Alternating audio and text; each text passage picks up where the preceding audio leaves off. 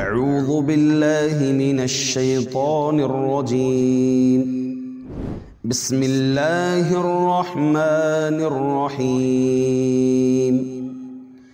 الله ولي الذين آمنوا يخرجهم من الظلمات إلى النور. الحمد لله الحمد لله رب العالمين. وبه نستعين والصلاة والسلام على أشرف الأنبياء والمرسلين وعلى آله وأصحابه أجمعين ومن تبعهم بإحسان إلى يوم الدين. أما بعد فأعوذ بالله من الشيطان الرجيم من همزه ونفخه ونفثه. وعد الله المؤمنين والمؤمنات جنات تجري من تحتها الأنهار خالدين فيها ومساكن طيبة في جنات عدن. ورضوان من الله أكبر ذلك هو الفوز العظيم معزز حاضرین، ایمانیات۔ ایمان سے متعلق، ایمان کی فضیلت پچھلے درسوں سے ہم جانے آ رہے ہیں۔ ایمان ایک تو دنیا میں ہدایت کا ذریعہ ہے اور دوسرا کل قیامت کے دن یہ ایمان ہی ہمیں جنت کی طرف لے جاتا ہے۔ اور جو ایمان پر ہیں، حقیقی معنی میں وہی ہدایت پر ہیں۔ قرآن کہتا ہے صورت البقرہ کی آغاز والی آیات میں والذین یؤمنون بما انزل الیک وما انزل من قبلک وبالآخرة هم یوقنون اولئک علی ہدم من ربهم واولئک هم المفلحون۔ اللہ فرماتے ہیں، یقیناً وہ لوگ جو ایمان لائے۔ کس بات پر ایمان لائے؟ بما انزل الیک۔ اس بات کی طرف جو کچھ تیری طرف نازل کیا گیا ہے۔ کیا نازل کیا جاتا ہے اللہ کے رسول صلی اللہ علیہ وسلم کے پاس؟ اللہ کے رسول صلی اللہ علیہ وسلم کے پاس کیا نازل ہوتا ہے؟ وہی وہی میں کیا نازل ہوتا ہے؟ قرآن اور حدیث۔ قرآن اور حدیث یعنی شریعت۔ صحیح احادیث یعنی ہماری شریعت، دین۔ وہ لوگ ایمان لا آتے ہیں، ایمان لاتے ہیں جو کچھ تیری طرف نازل کیا گیا۔ وما انزل من قبلک اور جو تجھ سے پہلے بھی نازل کیا گیا۔ تجھ سے پہلے کیا نازل کیا گیا؟ اللہ کے رسول صلی اللہ علیہ وسلم سے پہلے پچھلی شریعتیں پچھلی شریعتیں یعنی پچھلی کتابیں، پچھلے انبیاء، یہ سب نازل کیے گئے۔ ایک سوال ہٹ کے میں کر لوں۔ پچھلی شریعتوں میں یا یہ کہہ لیں پچھلی کتابوں میں اور قرآن کریم میں کیا فرق ہے؟ پچھلی کتابوں پر بھی ایمان لانا ہے نہیں لانا؟ ہے لانا ہے۔ قرآن کریم پر ایمان لانا ہے نہیں لانا ہے؟ لانا ہے، ورنہ جو ہے ایمان سے خارج ہو جائیں گے۔ پچھلی کتابوں پر بھی ایمان لانا ہے۔ پچھلی کتابیں یعنی توریت انجیل، زبور، یہ نامے لکھی، نامے بتائے گئے۔ اس کے علاوہ اور بھی کتابیں نازل ہوئیں جس کے پاس ہمارے پاس نام ہم تک نہیں آئے ہیں۔ تو پچھلی کتابیں تورات، زبور، انجیل صوف ابراہیم وغیرہ پر ایمان لانا ہے۔ قرآن کریم پر بھی ایمان لانا ہے۔ دونوں کے ایمان لانے میں کیا فرق ہے؟ قرآن میں اور پچھلی کتابوں میں کیا فرق ہے؟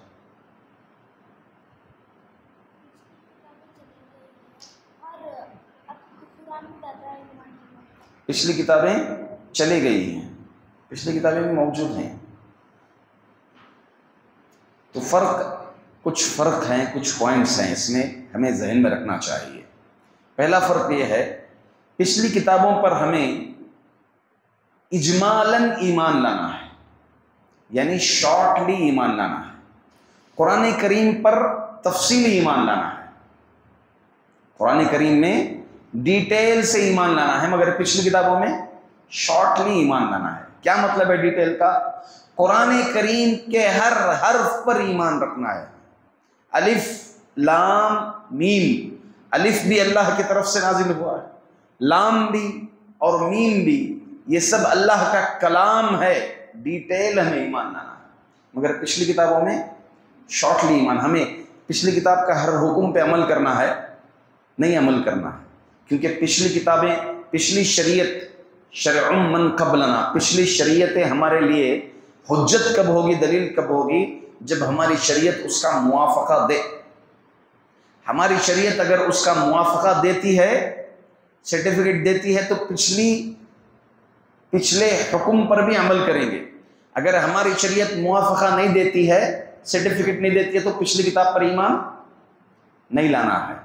اگزامپل سوم پچھلی شریعت میں بھی فرض تھا، ہماری شریعت میں بھی فرض ہے۔ یا ایوہ الذین آمنو کتبہ علیکم السیام کما کتبہ علی الذین من قبلکم لعلکم تتقون۔ مومنو، تم پر روزے فرض کیے گئے، جیسا کہ تم سے پہلے بھی فرض کیے گئے تھے۔ تو معلوم ہوا کہ پچھلی شریعت میں بھی روزے تھے، تو ہماری شریعت اس کی سرٹیفکیٹ دے رہی ہے۔ تو مطلب ہمارے لیے یہ حجت ہے۔ پچھلی شریعتوں میں سجدہ تعظیم بعض شریعتوں میں ذکر ملتا ہے۔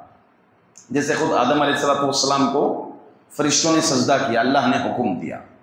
یوسف علیہ السلاۃ والسلام کو ان کے بھائیوں نے اور ان کے والدین نے سجدہ کیا، سجدہ تعظیم۔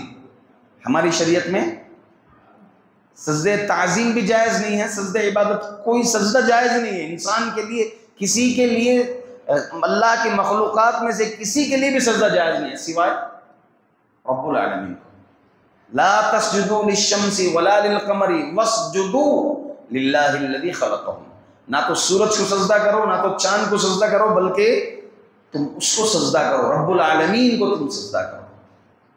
سمجھ گئے؟ اگر پچھلی شریعت کیا سرٹیفائڈ دلیل، ہمیں موافقہ اگر ہماری شریعت سے ملتا ہے، قرآن سے، حدیث سے ملتا ہے، تو ہمارے لیے حجت ہے۔ اگر پچھلی شریعت کا ذکر ہے ذکر ہے نہیں ہے۔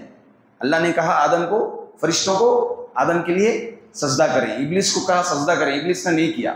یوسف علیہ السلاۃ والسلام کا بھی ذکر ملتا ہے ملتا ہے نہیں ملتا ہے؟ قرآن میں ملتا ہے۔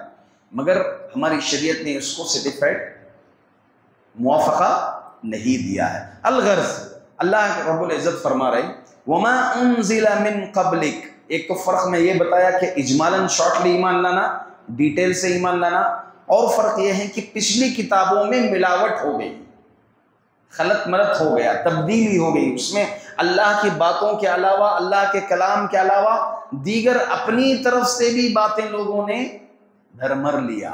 ان کے علماء نے بھر دیا اپنی طرف سے بھی باتیں۔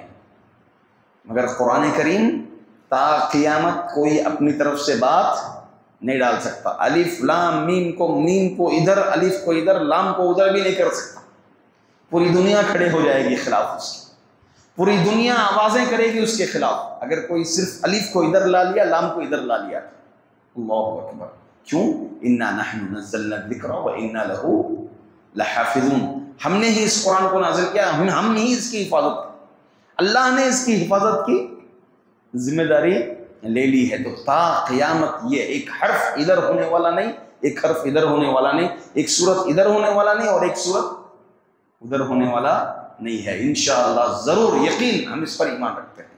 اللہ فرماتے ہیں والذین یؤمنون بما انزل الیک وما انزل من قبلک وبالآخرۃ هم یوقنون اور آخرت پر یقین رکھتے ہیں اولئک علی ھدی من ربهم واولئک هم المفلحون۔ وہی لوگ کس پر ہیں؟ ان کے رب کی طرف سے ہدایت پر ہیں۔ معلوم یہ ہوا، جو ایمان لائے وہی ہدایت پر ہے جو ایمان میں نہیں ہے، وہ ہدایت پر نہیں ہیں۔ اور میں نے کہا کہ یہ ایمان ہی ہمیں جنت کو لے جاتا ہے۔ میں نے آپ کے سامنے ایک آیت تلاوت کی۔ آیت میں اللہ تعالیٰ فرماتے ہیں، وعد اللہ المؤمنین والمؤمنات۔ اللہ وعدہ کرتے ہیں۔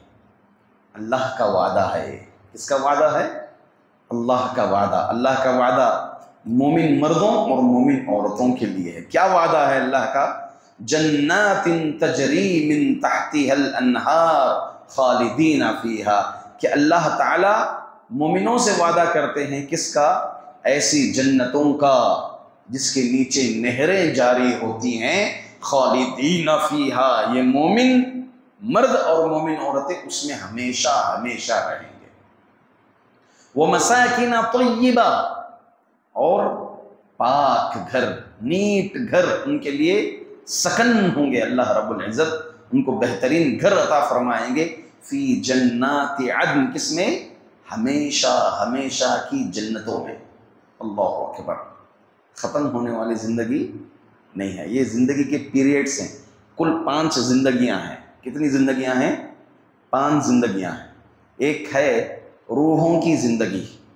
ابھی جو بھی دنیا میں پیدا ہونے والا ہے یعنی ماں کے پیٹ میں آنے سے پہلے جو زندگی ہے، وہ روحوں کی زندگی۔ اللہ تعالیٰ آدم سے لے کے قیامت تک آنے والے پورے روحوں کو پیدا کر دیا۔ وہ اللہ کے علم ہے، کہاں ہے یہ روحیں اللہ تعالیٰ کے علم ہے۔ یہ روحوں کی زندگی، پھر جو ہے ماں کے پیٹ کی زندگی۔ پھر پیدائش سے لے کر کے وفات تک کی زندگی۔ پھر مرنے سے لے کر کے دوسرے سر پھونکنے تک کی زندگی۔ پھر دوسرے سر پھونکے جانے کے بعد قبروں سے اٹھ کر ختم نہیں ہونے والی زندگی۔ سب زندگی کی لمٹس ہے۔ ٹائم ہے، مگر اس زندگی کا ٹائم نہیں ہے۔ فی جنات عدن۔ ہمیشہ ہمیشہ کی جنتوں میں اللہ رب العزت نازل فرمائیں گے داخل کریں گے۔ وَرِضْوَانٌ مِّنَ اللَّهِ اکبر یہ بڑی چیز ہے۔ ایک تو جنتیں، ایسی جنتیں جس کے نیچے نہریں جاری ہوں گی۔ جنتوں میں بھی اللہ تعالیٰ گھر بنائیں گے۔ اللہ اکبر۔ وہ مساکین طیبہ۔ یہ دوسری نعمت۔ پہلی نعمت کیا ہے؟ جنتوں میں داخل ہونا۔ دوسری نعمت ہمیشہ ہمیشہ کی جنتوں میں بھی کیا ہوں گے؟ مساکن اللہ تعالیٰ گھر بنائیں گے۔ ہاں چاہتا ہے، ہر کوئی چاہتا ہے دنیا میں اپنا ایک گھر ہو۔ یہاں ایک گھر ہو تو ادھر ایک فارم ہاؤس ہو۔ ادھر ایک فارم ہاؤس چاہتا ہے، ہر کوئی چاہتا ہے کہ بھائی کبھی سفر پہ جائیں بزنس کے لیے جائیں تو ایک فارم ہاؤس ادھر ہونا چاہیے، ادھر ایک ہونا چاہیے۔ یہ گھر ایمان لائیں گے، ایمان پر باقی رہیں گے۔ ایمان کے مطابق اپنے ایمان پر رہ کر عمل کریں گے۔ وہ مساکین طیبہ، اللہ تعالیٰ جنت میں کر دیں گے۔ اللہ اکبر۔ اور اس سے بڑی نعمت، تیسری چیز، وَرِضْوَانٌ مِّنَ اللَّهِ اکبر۔ اللہ کی طرف سے بڑی رضامندی ملے گی۔ وَرِضْوَانٌ مِّنَ اللَّهِ اللہ کی طرف سے رضامندی ملے گی۔ اکبر، یہ بڑی چیز ہے۔ پھر فرمان ذَلِكَ هُوَ الْفَوْزُ الْعَظِيمُ۔ یہی بڑی کامیابی ہے۔ اللہ کی طرف سے رضامندی۔ حدیث میں آتا ہے، بخاری شریف کی اور امام مالک رحمۃ اللہ علیہ نے بھی اور مسلم شریف نے بھی اس حدیث کو روایت کیا ہے۔ حضرت ابو سعید خدر رضی اللہ عنہ راوی ہیں فرماتے ہیں کہ اللہ تعالیٰ جنتی جنت میں ہوں گے۔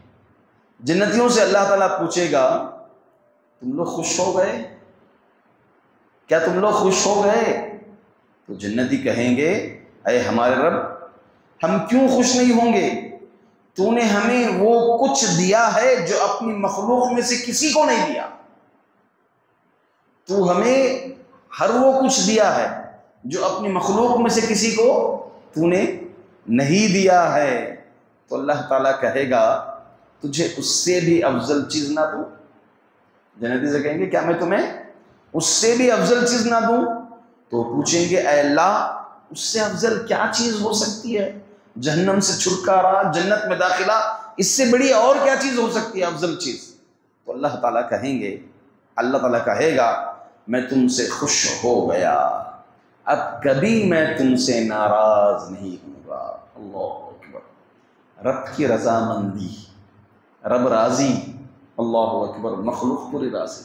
اسی لیے کہتے ہیں رضر رب فی، ایک حدیث رضر رب فی رضل والدین و سخت رب فی سخت والدین والدین کی رضامندی میں اللہ کی رضامندی۔ والدین ناخوش، اللہ ناخوش۔ جو کوئی حدیث میں، جو کوئی مخلوق کو خوش کرنے، اللہ کو ناراض کرنے کا کام کرے گا۔ شادی وادی کے مسئلے آتے ہیں۔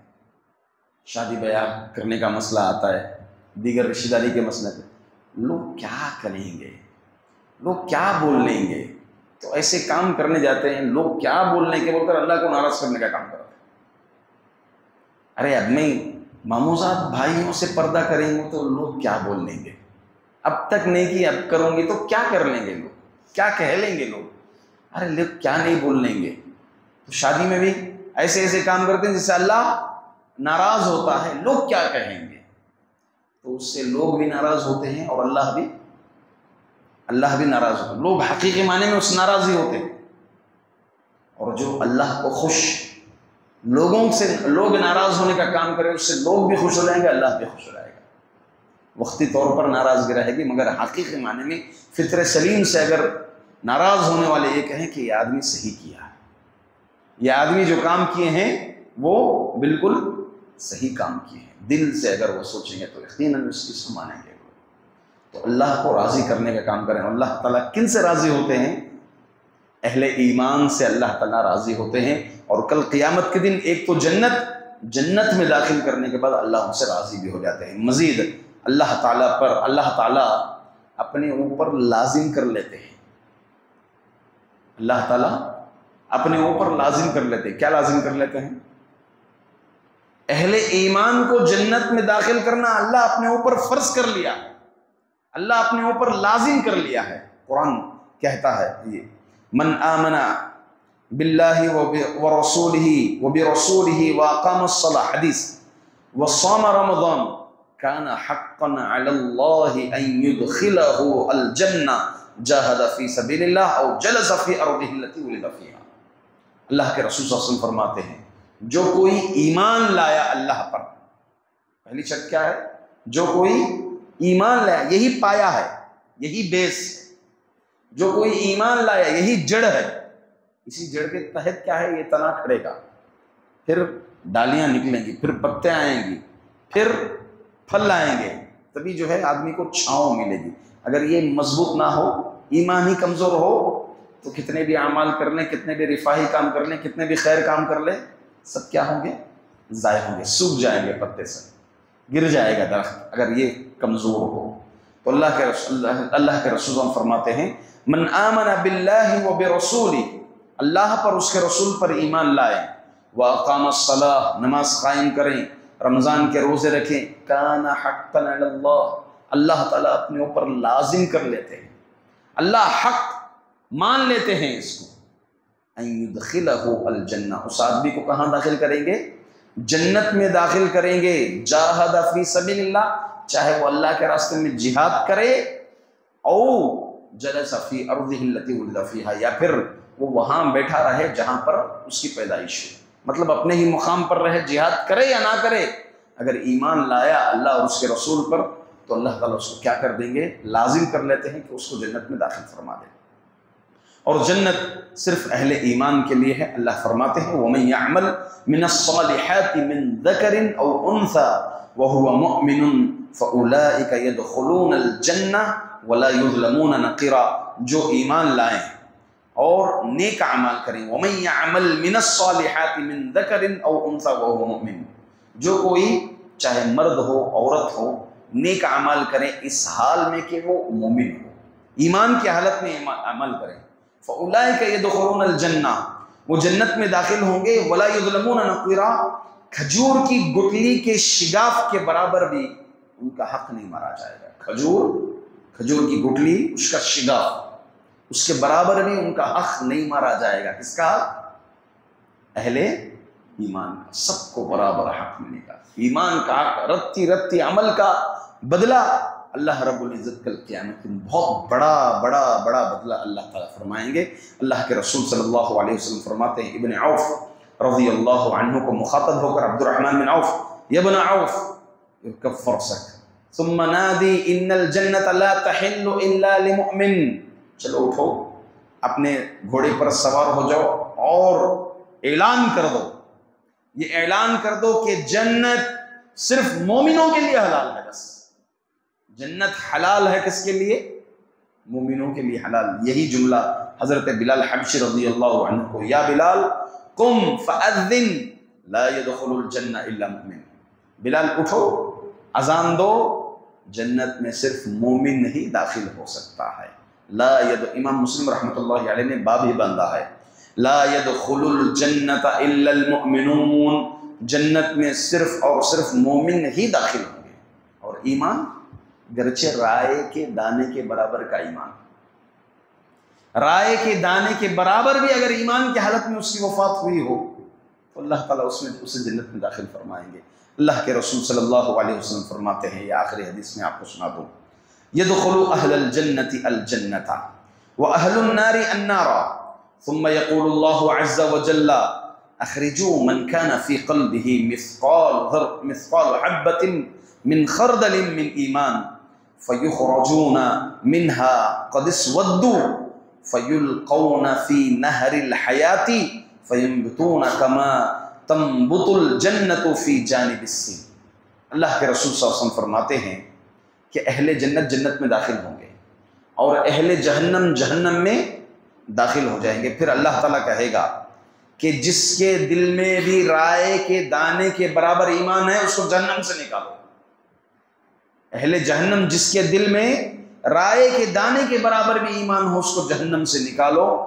پھر فیق رجون امنہ قدس وہ اس حال میں نکالے جائیں گے، یہاں تک کہ وہ جل کر کوئلے کی مانند ہو جائیں گے۔